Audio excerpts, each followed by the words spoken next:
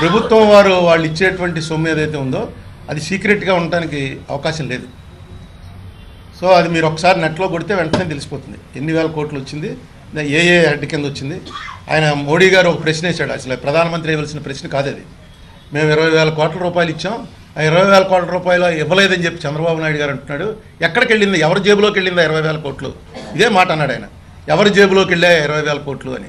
అది సాధ్యం కాదు. అది ప్రధానమంత్రి అనవలసిన మాట కాదు. గవర్నమెంట్ నుంచి గవర్నమెంట్కి వెళ్ళేది అందులో ఉన్న కమిషన్లు కొట్టేయగలచ్చు కానీ మొత్తం డబ్బే తీసి జోలో పెట్టేసుకోవడం ఎక్కడ ఉండదు.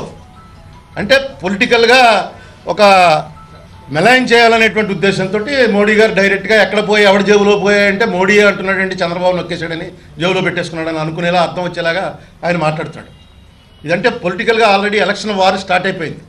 లేకపోతే ఇరవై వేల కోట్లు పంపించాం దానికి యూటిలైజేషన్ సర్టిఫికేట్ ఇవ్వలేదనో సరిగ్గా ఖర్చు పెట్టలేదనో అలాంటి ఆరోపణలు చేయాలి తప్ప ఆ ఇరవై వేల కోట్లు ఎవరి జేబులోకి వెళ్ళాయని చెప్పి ప్రధానమంత్రి అడుగుతుంటే సో ఇది మీరు మీకు దీనికి ఆన్సర్ ఇమీడియట్గా నెట్లో దొరుకుతుందండి. ఎంత ఇచ్చారు ఏంటని? ఏమండి దీని మీద చెప్పడానికి ఏం పెద్ద ఉండదు. ఎందుకంటే నేను కాంగ్రెస్ పార్టీలో ఉన్నాను మీరే చెప్తున్నారుగా. నేనుండి నేనే చెప్తాను నేను అవినీతి పరుణని మీరు నిలబడాలి. అలా కాదు మీరు అదే అదే మీరు నిలబెట్టాలి అప్పుడు అప్పుడు నన్ను నిలదీసి మీ పార్టీ ఎలా చేస్తుంది నువ్వేం చెప్తున్నావా అని చేయాలి. ఆ వేళ వాళ్ళు చేయటంలో అది ఫెయిల్ అయ్యారు. టీడీపీ అప్పుడు ఫెయిల్ అయింది. ఈవేళ వైసీపీ ఫెయిల్ అవుతుంది. ఈవేళ వైసీపీ అసెంబ్లీలో నిలదీయాలి బయట కరప్షన్ ఇష్యూలు ఈ జరుగుతున్నటువంటి అన్కాన్స్టిట్యూషనల్గా జరుగుతున్నాయి. వీటి మీద నేను ఎప్పుడో చెప్పాను. అసెంబ్లీ బాయ్కాట్ చేయటం అనేది తప్పు. ఎన్ని ఇష్యూస్ ఉన్నాయండి? ఈవేళ ఏది రెండు రోజుల్లో మొత్తం కొట్టిపారేస్తారు అలాగే రాజశేఖర రెడ్డి మీద వచ్చినటువంటి కరప్షన్ ఛార్జెస్ ఏవైనా ఉన్నట్టయితే ఈవేళకి కూడా నేను రాజశేఖర రెడ్డి క్లోజ్ అని అనుకుంటారు కాబట్టి నాలాంటి వాళ్ళు చాలామంది ఉన్నారు. ఈవేళకి కూడా నేను చర్చకు సిద్ధంగా ఉన్నాను అని చెప్పాను. మీరు రండి రాజశేఖర రెడ్డి మీద ఉన్న ఎలిగేషన్ పట్టండి వాటి మీద నేను చర్చకి సిద్ధంగా ఉన్నాను. అప్పుడు దానికే ప్రణాళిక బోర్డు కుటుంబరావు గారు నేను వస్తాను నేను నిరూపిస్తాను రాజశేఖర రెడ్డి మీద ఉన్నదని చెప్పి చెప్పారు. తర్వాత ఆయన రావడానికి ఇష్టపడలేదు. సో నేను రాజశేఖర రెడ్డి రాజశేఖర్ మీద కిరణ్ కుమార్ రెడ్డి మీద నాకు తెలిసి పర్సనల్గా కరప్షన్ ఇష్యూస్ ఏం లేవు. నెక్స్ట్ నేను కరప్షన్ ఫ్రీ గవర్నమెంట్ అనేది అవ్వాలంటే ఇప్పుడున్న పరిస్థితుల్లో అసాధ్యమైంది.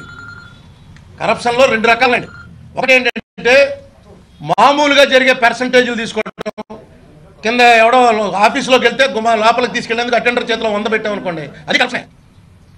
ఆ కరప్షన్ని కంట్రోల్ చేయలేము కానీ లోపలికి పంపించే ప్రతి వాడి దగ్గర వంద తీసుకుని నాకు పట్టుకొచ్చి ఇవ్వాలరా అని ఆఫీసర్ పెట్టాడు అనుకోండి అది కరప్షన్ కాదు పేక పెసగటం దానికి మనం ఎట్టి పరిస్థితులు ఒప్పుకోకూడదు. ఇదేడో చిన్నాడు కక్కుర్తి పడుతున్నాడు చెప్పాలి వాడికి బోర్డు జీతం వస్తుంది కదరా ఏంటి నీకు ఇంకా ఇది? అని చెప్పి చేసి మార్పు తీసుకురావాలి. అది ప్రజల్లోంచి రావాలి. కానీ పొలిటీషియన్స్ కంట్రోల్ చేయవలసింది ఏంటంటే హై లెవెల్లో ఏదైతే కరప్షన్ ఉందో అక్కడ ఆపితేనే అది లో లెవెల్కి వస్తుంది. కింద నుంచి పైకి వెళ్ళదండి. పైన వాడు ఎప్పుడైతే నీతిగా ఉంటున్నాడో ఆటోమేటిక్గా అటు కింద కూడా భయం పోగుతుంది. ఈవేళ మీకు కేరళ వెళ్ళారంటే కరప్షన్ ఫ్రీ అక్కడ కాంగ్రెస్ గవర్నమెంట్ ఉన్నాయి కమ్యూనిస్ట్ గవర్నమెంట్ ఉన్నాయి. కరప్షన్ ఫ్రీ అండి. ఎందుకంటే అక్కడ కరప్షన్ ఫ్రీ అయితేనే ఓట్లు వేస్తారు జనం. ఇక్కడ కరప్షన్ చేయకపోతే ఓట్లేరు అని మళ్ళీ పబ్లిక్ నుంచే స్టార్ట్ అయింది.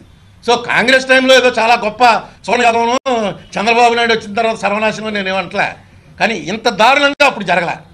జరిగిందని ఎవరికైనా అనుమానం ఉంటే ఆ రికార్డు పట్టుకురండి నేను దాన్ని ఒప్పుకుంటాను. అప్పుడు క్షమించమని కోరుతాను.